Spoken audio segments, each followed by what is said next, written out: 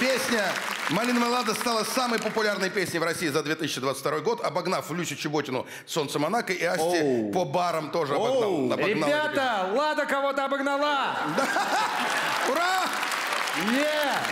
Слушайте, а сколько раз вы ее спели? Вам самим не надоело это? Вот просто, ну, Мы ее просто обожаем. ну, понятное дело. Конечно, ты на них себе вставил Глядя на нас, виниры. можно сказать, что мы всегда были такими успешными и красивыми, но на самом деле только после Лады. Если честно, глядя на твои штаны, кажется, что ты просто упал в зеркало.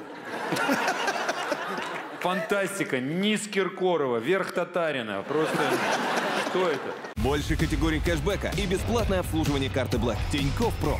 Первый месяц подписки бесплатно.